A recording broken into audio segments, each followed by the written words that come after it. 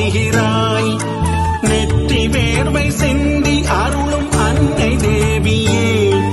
நெற்றி வேர்வை சிந்தி அருளும் அன்னை தேவியே.